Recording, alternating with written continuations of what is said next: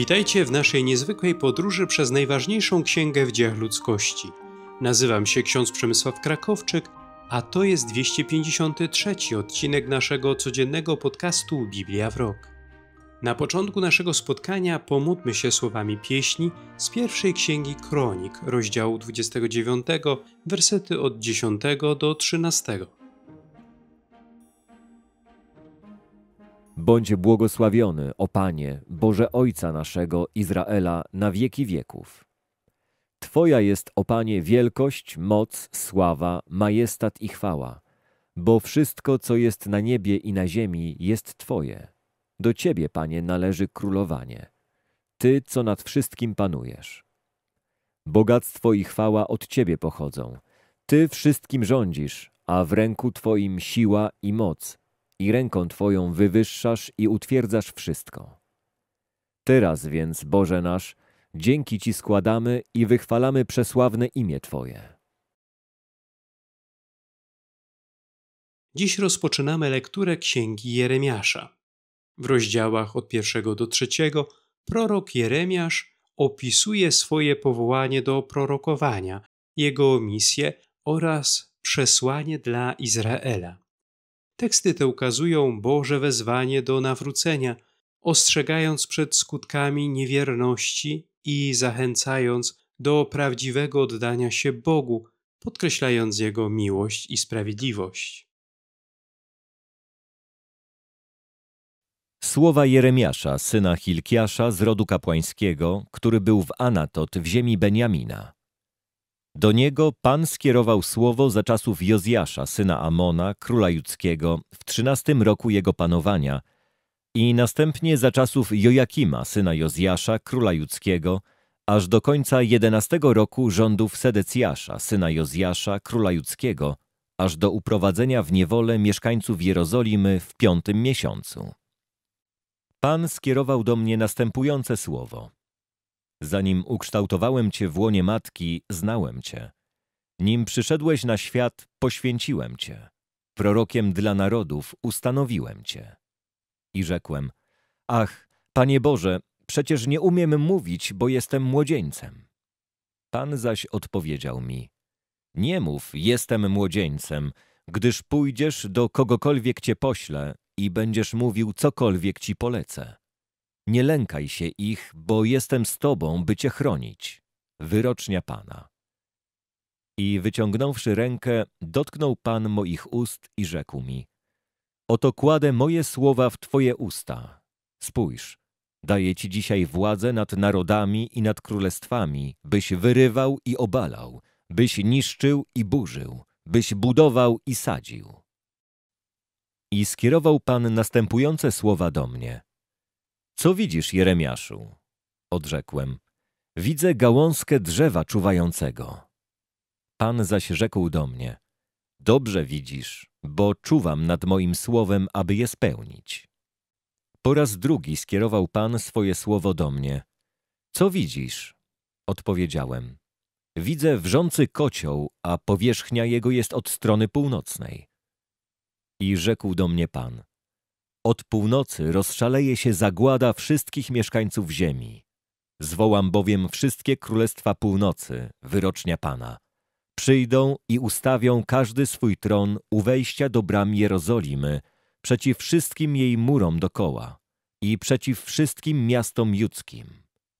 I wydam wyrok na nie za całą ich niegodziwość, iż opuścili mnie, a palili kadzidło cudzym bogom i hołd oddawali dziełom rąk swoich. Ty zaś przepasz biodra, wstań i mów wszystko, co ci rozkażę. Nie lękaj się ich, bym cię czasem nie napełnił lękiem przed nimi.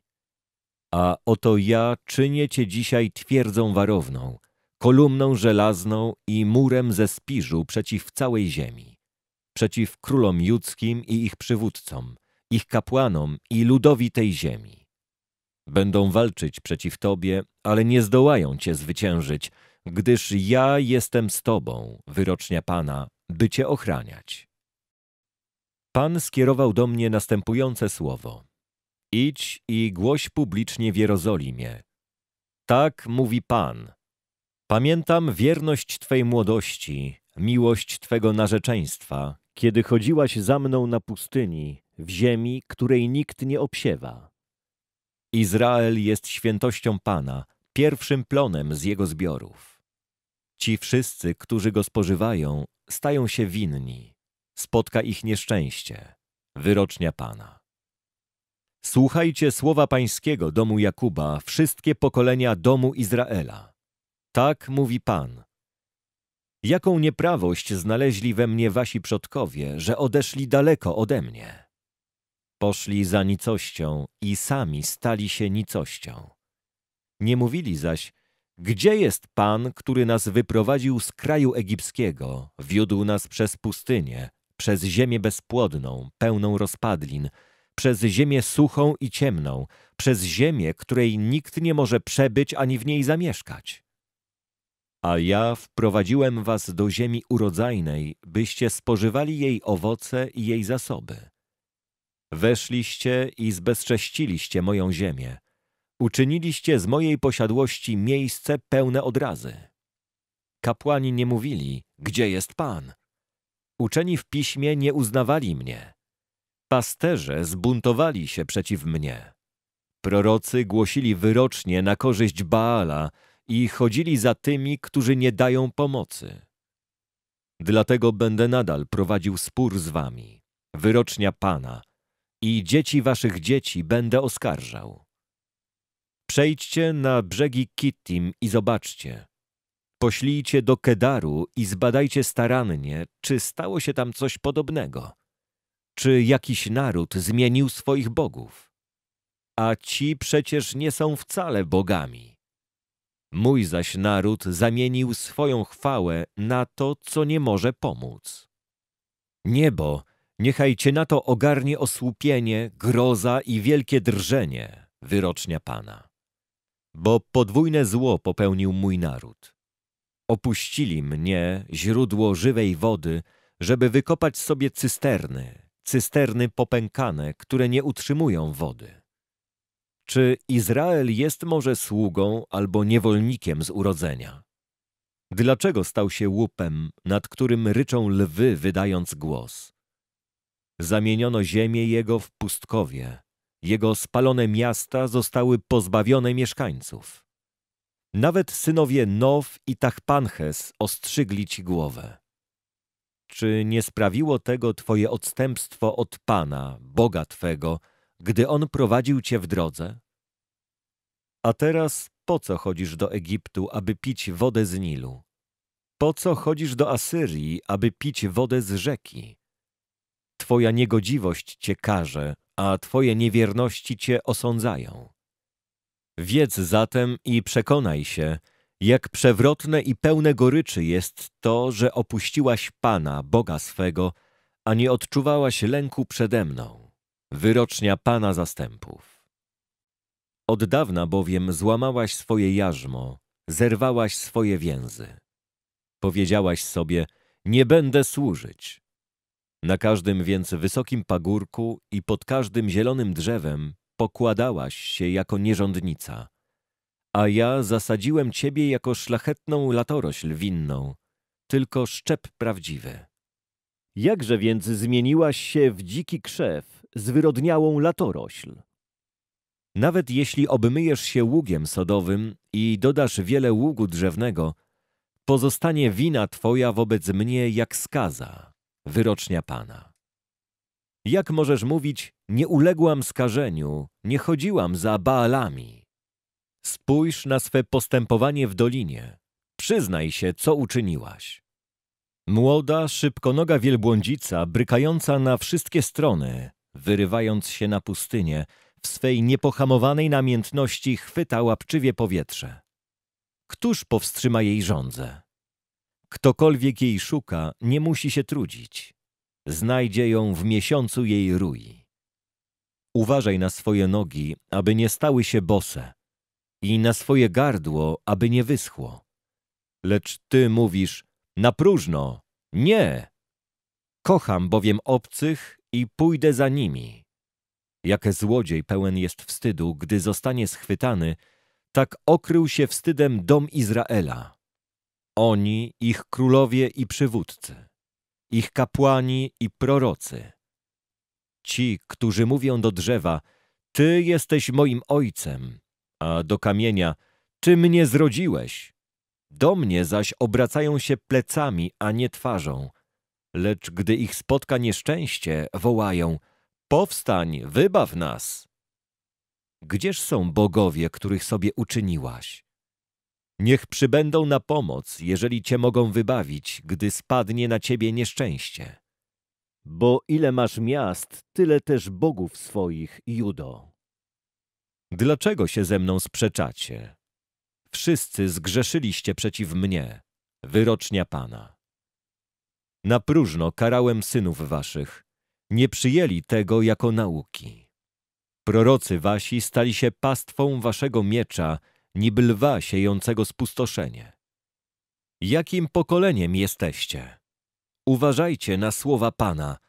Czy byłem pustynią dla Izraela albo krainą ciemności? Dlaczego mówi mój lud, wyzwoliliśmy się, nie przyjdziemy już więcej do Ciebie? Czy Panna zapomni swoich klejnotów, a narzeczona swych przepasek? Mój naród jednak nie pamięta o mnie od niezliczonych już dni. O jak dobrze Ci znane są drogi, by szukać miłostek. Dlatego też nawykło Twoje postępowanie do nieprawości. Nawet na kraju Twoich szat znajduje się krew ubogich bez winy, których nie przychwyciłaś na włamaniu. Mimo wszystko mówisz, jestem niewinna. Jego gniew odwrócił się zapewne ode mnie. Oto jestem, by Cię osądzić za to, że powiedziałaś, nie zgrzeszyłam. Jak bardzo stałaś się nikczemna, zmieniając swe postępowanie.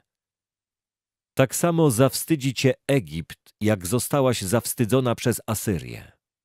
Także stamtąd wyjdziesz z rękami na głowie, gdyż Pan odrzucił tych, w których pokładasz nadzieję i z nimi nie osiągniesz powodzenia. Jeżeli mąż porzuci swą żonę, a ona odejdzie od niego i poślubi innego męża, czy może on jeszcze do niej wrócić? Czy ta ziemia nie została całkowicie zbezczeszczona? A ty, co z wielu przyjaciółmi cudzołożyłaś, masz wrócić do mnie? Wyrocznia Pana. Podnieś oczy na pagórki i patrz. Gdzie jest miejsce, na którym nie dopuszczałaś się nierządu? Na drogach siadywałaś, czekając na nich, jak Arab na pustyni i zbezcześciłaś ziemię swym nierządem i swą przewrotnością. Ustały zimowe ulewy i deszcze wiosenne nie spadły. Mimo to miałaś nadal czoło niewiasty cudzołożnej, nie chciałaś się zawstydzić.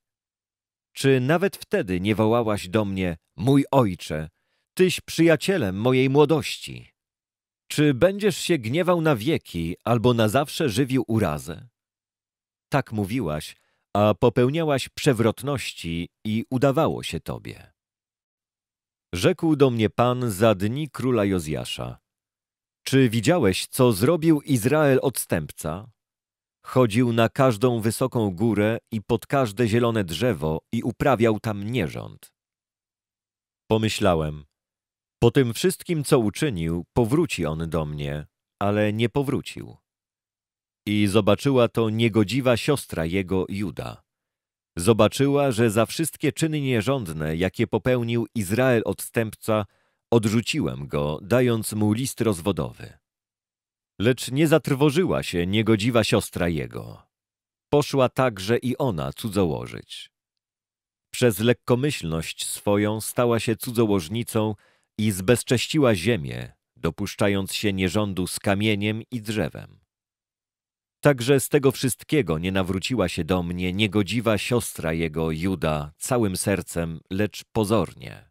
Wyrocznia Pana. Wtedy Pan powiedział do mnie. Izrael odstępca okazał się sprawiedliwszy niż niegodziwy Juda. Idź i głoś następujące słowa ku północy. Wróć Izraelu odstępco, wyrocznia Pana. Nie okażę wam oblicza surowego, bo miłosierny jestem, wyrocznia Pana. Nie będę pałał gniewem na wieki. Tylko uznaj swoją winę, że zbuntowałaś się przeciw Panu, Bogu swemu i włóczyłaś się po wszystkich drogach ku obcym, pod każdym zielonym drzewem, a głosu mojego nie słuchałaś, wyrocznia Pana. Wróćcie, synowie wiarołomni, wyrocznia Pana, bo jestem Panem waszym i przyjmę was, po jednym z każdego miasta, po dwóch z każdego rodu, by zaprowadzić na Syjon. I dam wam pasterzy według mego serca, by was paśli rozsądnie i roztropnie. A gdy się rozmnożycie i wydacie liczne potomstwo na ziemi w owych dniach, wyrocznia Pana, nikt nie będzie już mówił Arka Przymierza Pańskiego. Nikt już nie będzie o niej myślał, ani jej wspominał, ani odczuwał jej braku, ani też nie uczyni nowej. W tym to czasie Jerozolima będzie się nazywała tronem Pana. Zgromadzą się w niej wszystkie narody w imię Pana i nie będą już postępowały według zatwardziałości swych przewrotnych serc. W owych dniach pójdzie dom Judy do domu Izraela i przyjdą zgodnie z kraju północnego do ziemi, którą dałem jako dziedzictwo waszym przodkom. Ja zaś powiedziałem sobie, jakże chciałbym Cię zaliczyć do synów i dać Ci przepiękną ziemię, najwspanialszą pośród posiadłości narodów. Myślałem, będziesz mnie wzywał mój ojcze i nie odwrócisz się ode mnie. Ale jak niewiasta nie dotrzymuje wiary swemu oblubieńcowi, tak nie dotrzymaliście mi wiary wy, domu Izraela, wyrocznia Pana. Posłuchaj, na wyżynach daje się słyszeć pełen błagania lament synów Izraela, iż skazili przewrotnością swe postępowanie. Zapomnieli o Panu, Bogu swoim. Powróćcie, zbuntowani synowie, uleczę wasze odstępstwa. Oto jesteśmy, przychodzimy do Ciebie, bo jesteś, Panie, Bogiem naszym. Rzeczywiście, zwodnicze są wyżyny i tumult na górach. Rzeczywiście, w Panu, Bogu naszym, jest zbawienie Izraela. Baal pochłaniał od zarania naszej młodości owoc pracy naszych przodków, ich drobne i większe bydło, ich synów i córki. Leżeć musimy w hańbie i wstyd nas okrywa, bo zgrzeszyliśmy wobec Pana, Boga naszego, my i przodkowie nasi, począwszy od młodości aż do dziś nie słuchaliśmy głosu Pana, Boga naszego. W rozdziale pierwszym listu świętego Pawła do Tymoteusza apostoł przypomina o znaczeniu prawdziwej nauki i o konieczności unikania fałszywych nauk oraz mitów. Paweł opisuje swoją własną misję jako przykład Bożego miłosierdzia, które objawiło się w jego nawróceniu. Wzywa Tymoteusza do zachowania wierności w nauczaniu i do walki o prawdę, podkreślając, że Boża łaska jest źródłem zbawienia dla wszystkich wierzących.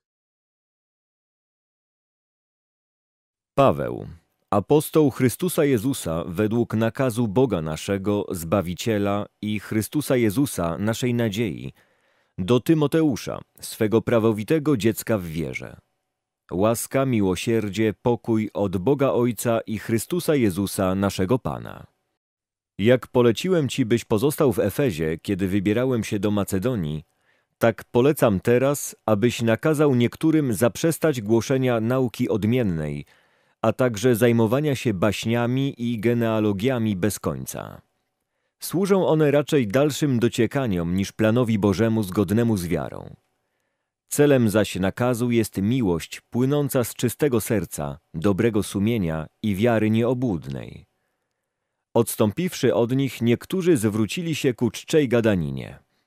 Chcieli uchodzić za uczonych w prawie, nie rozumiejąc ani tego, co mówią, ani na czym się opierają.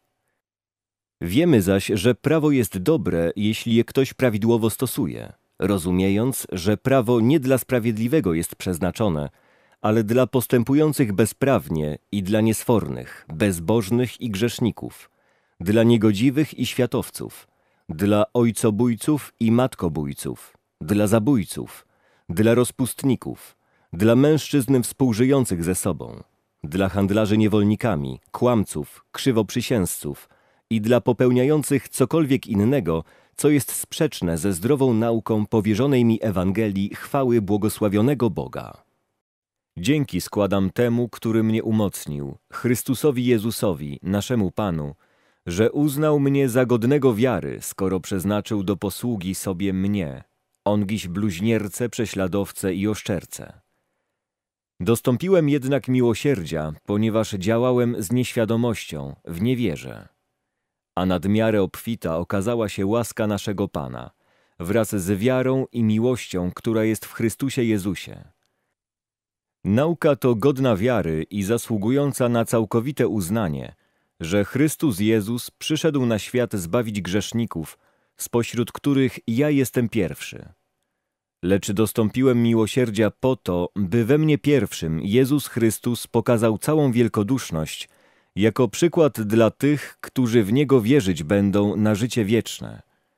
A Królowi wieków, nieśmiertelnemu, niewidzialnemu, Bogu samemu, cześć i chwała na wieki wieków. Amen. Ten właśnie nakaz poruczam Ci, Tymoteuszu, dziecko moje, w myśl proroctw, które uprzednio wskazywały na Ciebie, byś wsparty nimi toczył dobrą walkę, mając wiarę i dobre sumienie. Niektórzy, odrzuciwszy je, stali się rozbitkami w sprawach wiary.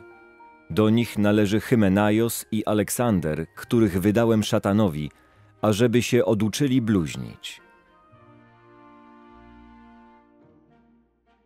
Dziękuję za uwagę i zapraszam na jutrzejszy odcinek podcastu Biblia w rok. Do usłyszenia.